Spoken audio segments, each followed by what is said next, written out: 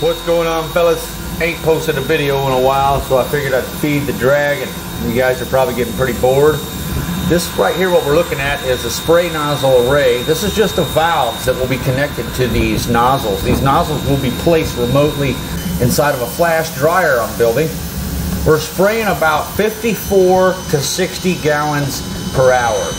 And we've got this thing set on number 40 here, and that's important because when we get this thing to the job site in Kentucky, we're going to want to take a look at these very same operating parameters.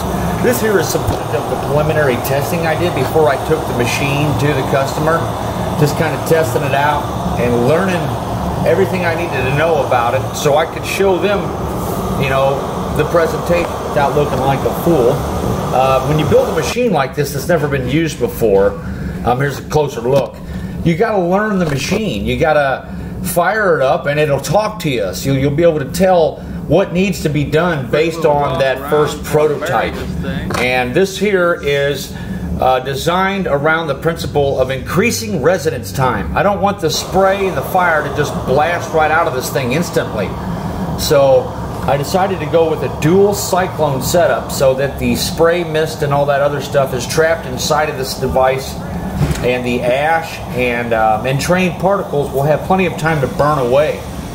This right here is about uh, 40 gallons an hour you're looking at. This is another preliminary test before we actually got the device to the job site for um, a demonstration.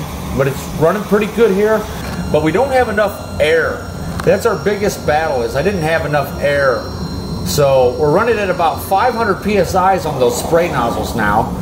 There's the valve configuration. We just got this thing fired up. Sorry for the wavy video. I'm frantically trying to get this thing um, running. As soon as that drip stops, we know that we're boiling. Look at the steam coming out of that stack back there in the background. It is just going crazy. We're at about 200 kilowatts, 180 to 200 kilowatts there on that flow rate. Barely perceptible at all the flow rate. There's Shooty looking into the problem. That's the guy that helps me out on these out of town jobs a lot. He's the one that hauled this thing down here. It's doing extraordinary with that secondary uh, draft. We're, uh, I realize a lot of that smoke we're seeing is the burning hops. I thought it might be diesel fuel at first, but no, there's some hops in this um, effluent from a brewery. So that smoke is actually just that grain material, the grain mash. So I was I was concerned it was diesel, but it's not. This here is some other uh, preliminary testing footage. There's explosion number one. Remember what I said? You got to learn the machine. This ain't the type of thing you want to do in front of a customer. Although he's most likely going to see this, I just didn't want it to look like I have no idea what I'm doing when I get there. So I always do preliminary testing to kind of learn the ropes, what not to do. Um, I think I get three explosions out of this first preliminary test. This is the first time I have ever lit this machine. So I'm really not sure what it's going to do. There's explosion number two right there. That was a good one there. But because we're, we're using diesel, there's no real danger of uh, destructive detonation. It's more of a deflagration there. So just kind of messing with this thing. And uh, there's explosion number three, I think and just pretty much learning that uh, I don't have enough air to run this machine. There's a bottom burner shooting directly in the bottom of that uh, stack there that's supposed to act as a secondary draft fan also. That's why the flames are just shooting out of that thing like crazy. I've got a another burner really cranking some heat through there, but uh, I just don't have the air pressure, guys.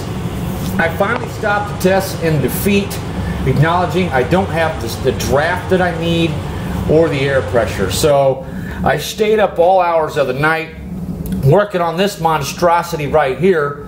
This compressor is way too big for this setup. Uh, that's the little compressor that was on this thing.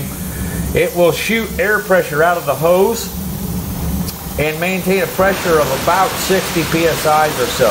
That's full on, full open air right there, guys and it is maintaining a pressure, a back pressure, uh, about 60 some psi. So pretty incredible airflow.